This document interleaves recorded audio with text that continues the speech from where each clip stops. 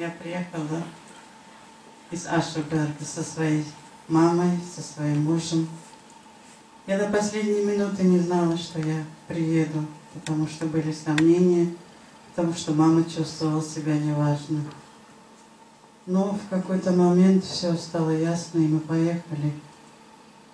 Мы были убеждены, что мама перенесет долгую дорогу. Я была уверена, что ничего не случится, и я передала эту уверенность своей маме. И это было действительно так. Мы приехали. Мама была немного удивлена, немножко разволнована. Но все-таки она смогла себя собрать, сделать так, чтобы у нее прибавилось силы. И вот мы теперь здесь. Я хотела давно, у меня были давно мысли о встрече с Богом. Потому что ситуация в моей семье в данный момент очень тяжелая. Но и не только потому, потому что мне мучили воспоминания о детстве, тяжелые события в детстве, сны, которые мучили меня.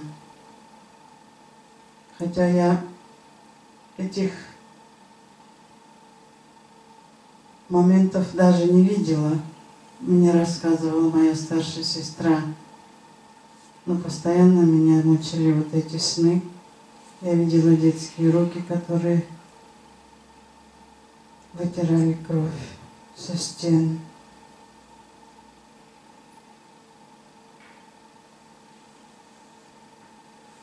А потом пришли сны, когда я начала сопротивляться тому, что меня мучило. Я подумала, что чтобы вот это все совсем забыть, я должна простить этим людям.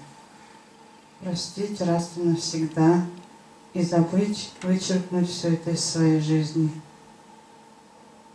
И поэтому я приехала сюда. Я поняла, что я здесь могу все это получить, и здесь решится моя дальнейшая судьба. Ситуация такая, что два любимых человека тяжело больны. И я благодарю Бога за то, что Он привел меня сюда. У меня теперь будет сила бороться с этим. У меня теперь будет сила посвятить себя Богу, любить Бога, верить Богу, во всем положиться на Бога. Я знаю, что моя сестра выздоровеет. Я уверена в этом, и Бог поможет мне. Что, что ты получила здесь? Эти три дня были не напрасны, потому что я поняла, что здесь моя семья стала еще больше. У меня пятеро детей, пятеро внуков. Все они замечательные люди.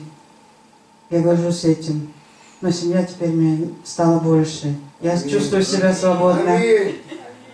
Я чувствую себя хорошо. Мне легко. Я бы могла говорить и говорить. И я чувствую, что у меня прибавилось силы, уверенности. Я могу теперь с уверенностью сказать, что я могу многого достичь, полагаясь на Бога. Amen. Потому что Бог любит меня. Я это знаю. И я люблю Бога. И я буду идти до конца вместе с Богом, потому что я дитя Его.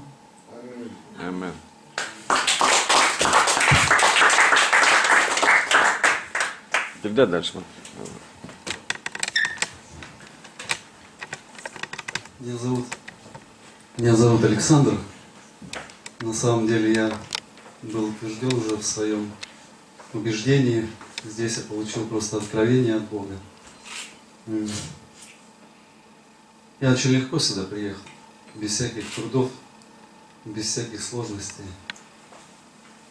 И я могу сказать, что я наконец-то здесь получил цель, я в ней еще больше утвердился. И на молитве посвящения мне Господь показал план. Аминь. Нормально, нормально. Все, зачем я сюда приехал, я получил. Я благословляю тебя, кто еще не пришел сюда. Ты будешь обязательно здесь.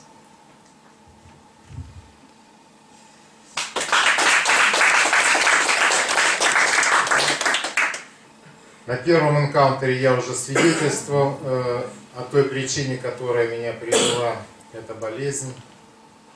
Э, потом я свидетельствовал о своем исцелении. Э, первый стих, который мне пришел, значит, э, попался, или который я увидел в Библии после этого, как раз тот самый, что вот теперь ты здоров, так иди, не греши больше, как бы не было чего хуже. Я помнил об этом стихе, и я отошел от креста. То есть я опять подсоединился к миру, ударился во все тяжкие. И вот через год я снова в больнице э, с еще более тяжелым диагнозом. Э, И вот через год я опять на энкаунтере. цель этого энкаунтера, или вернее то, что я получил здесь, это то, что я опять вернулся к кресту. И э, хочу заверить всех, кто после энкаунтера э, забывает все то, о чем здесь говорилось, или все то, что Бог высвобождал через служителей. Э, я хочу сказать, что крест – это самое безопасное место во Вселенной. Слава Богу. Аминь.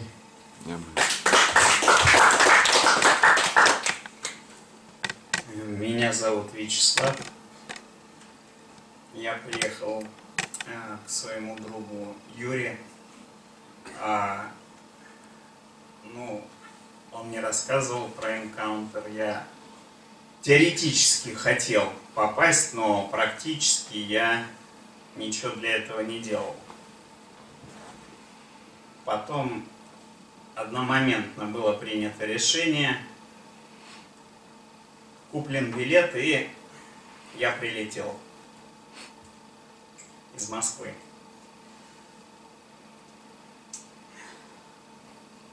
Когда я здесь оказался, у меня сомнения были, ну, я не понимал до конца, что я здесь делаю. Но это сомнение очень быстро ушло. Я с удивлением увидел люди, которые здесь находятся, у них человеческое отношение между собой. Это э, давно уже стало, скажем, экзотикой, потому что в мире в котором я вращаюсь, у всех маски на лице, все говорят то, что нужно говорить, и практически э, мало кто понимает, зачем вращается в этом колесе, бегает по кругу.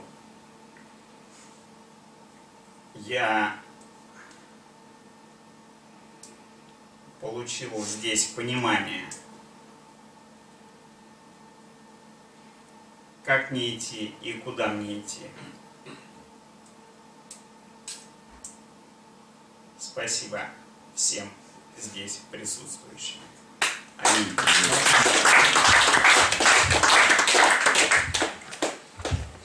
Здравствуйте, меня зовут Лариса Косова. Я приехала из Китсмина. На первый энкаутер, который проходил, мы просто слышали разговоры. И на второй энкаутер я отправила своего мужа. Говорю, в общем, поезжай, он вам уже свидетельствовал, никто не знает. Говорю, ты поезжай, посмотрим, что из всего этого получится. Ну, у нас в семье были большие проблемы, мы уже собирались разводиться, потому что абсолютно отсутствовало взаимопонимание между мной и мужем. Но меня всегда пугало то, что я останусь одна, и у меня нет документов.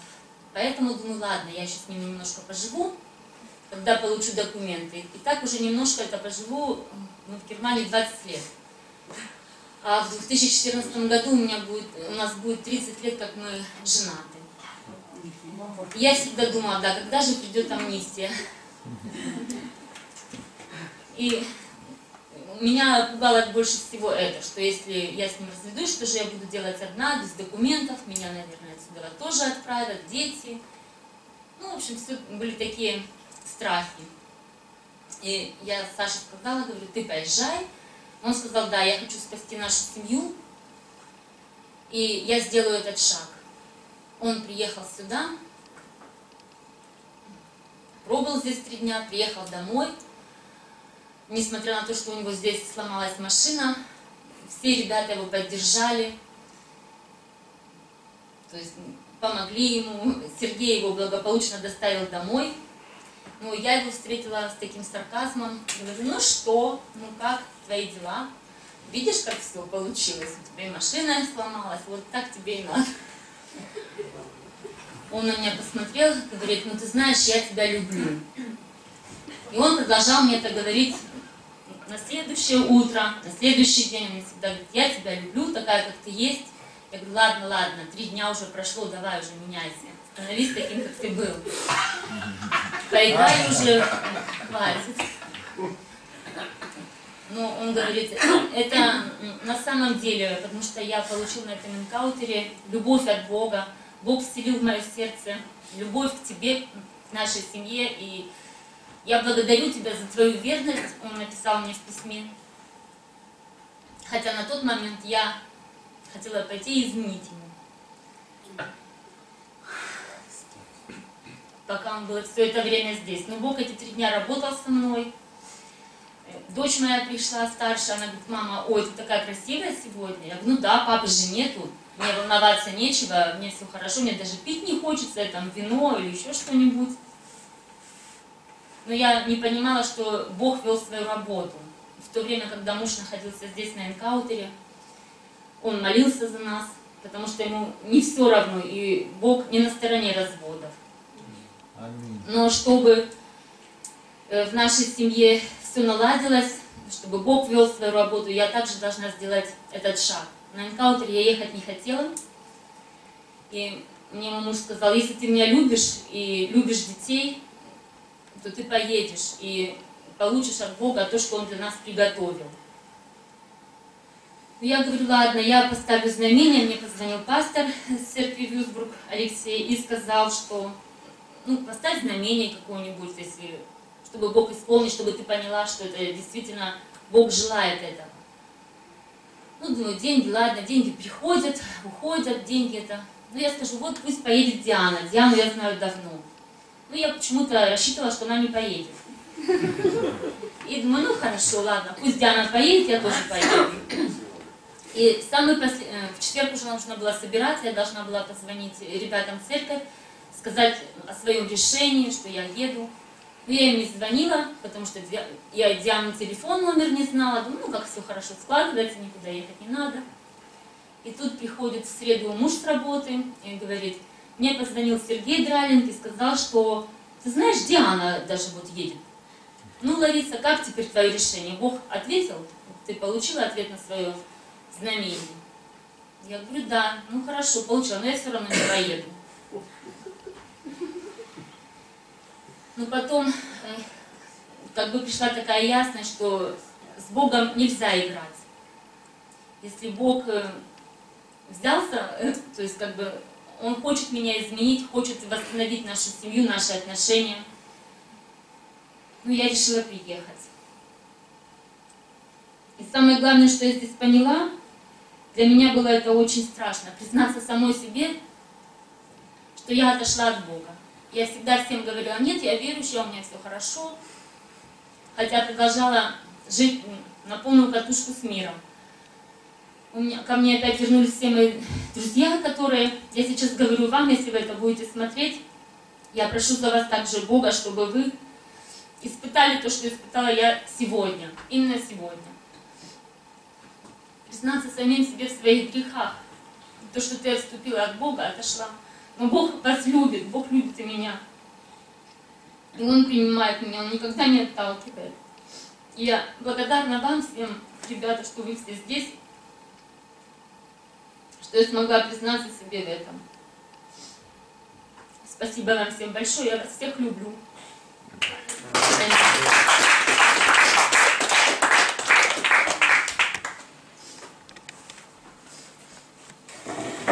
Меня зовут Диана Скицинина. Почему я здесь? Я последняя за неделю до того недавно познакомились вот с Николаем, еще есть один из Хайма и Лива.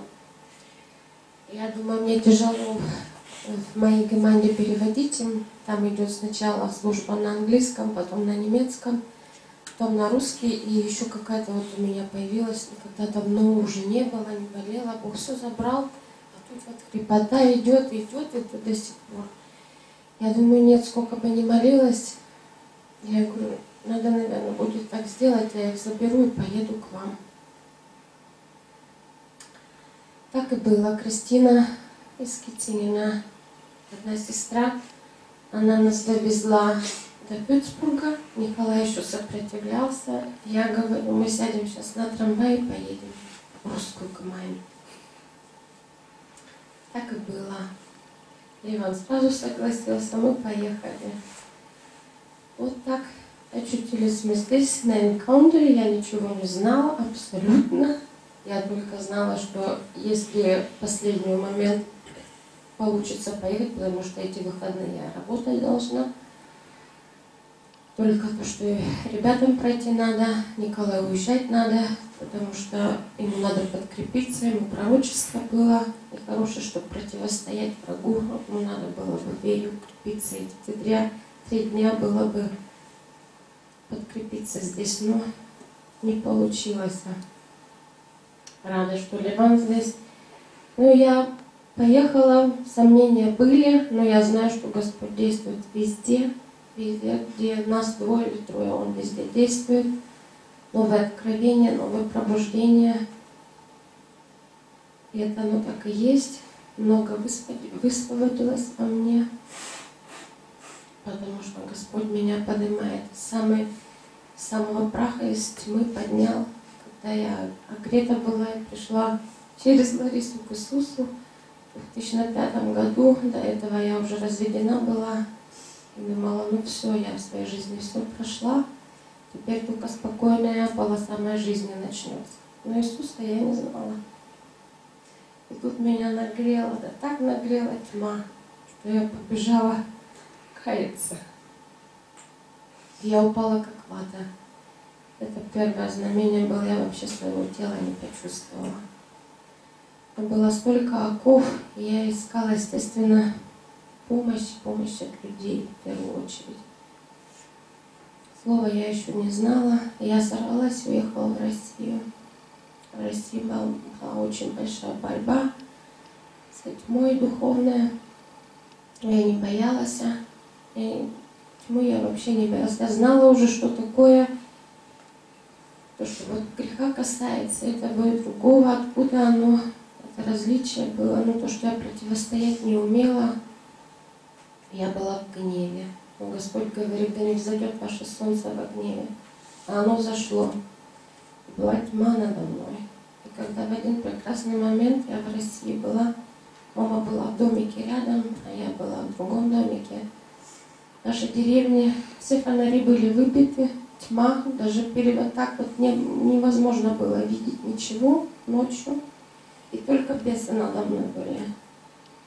Я не могла даже глаз закрыть, не подумать ничего, какая тьма надо мной была. Я начала молиться только «Отче наш» молитвой. Я молилась, наверное, спустя час-полтора, я не знаю, я со счету сбилась, сколько я молилась, и вдруг появляется свет от видения.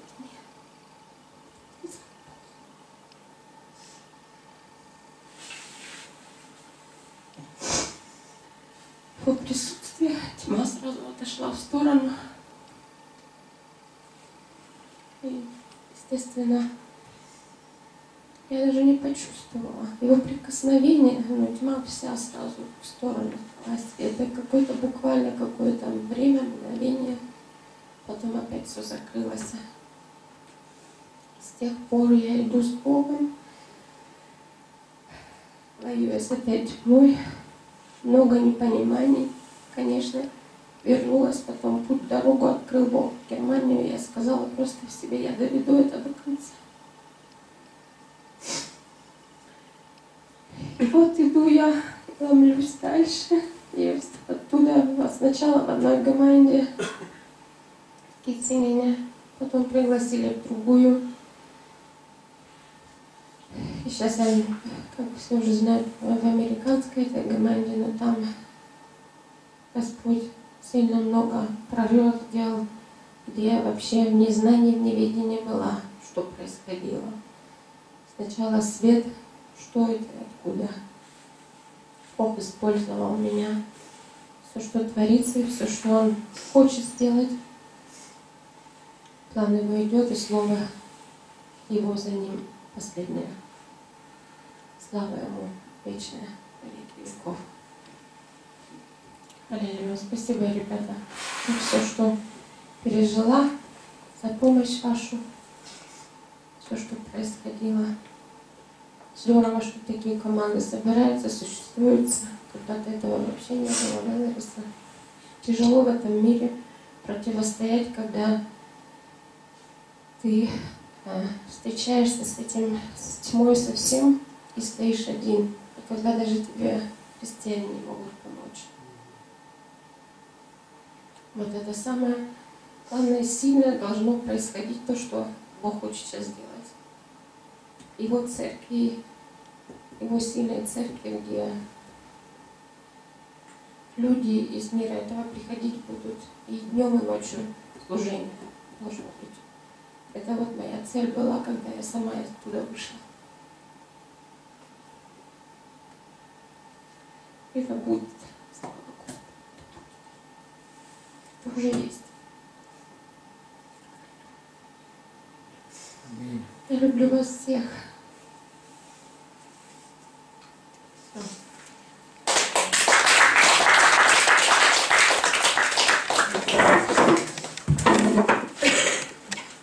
Здравствуйте, меня зовут Иван, я из Грузии.